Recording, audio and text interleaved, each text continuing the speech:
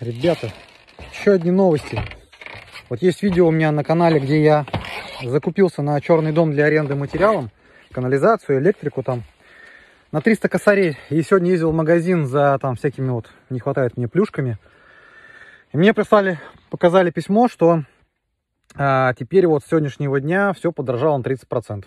То есть вот мой счет, который я оплатил две недели назад, слава богу, успел и забрал на 300 косарей, стоил бы мне в 390.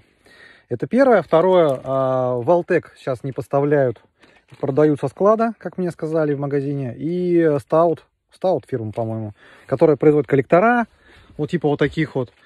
А, соответственно, поставки, в принципе, отменились, потому что это Италия, по-моему, сколько мне известно.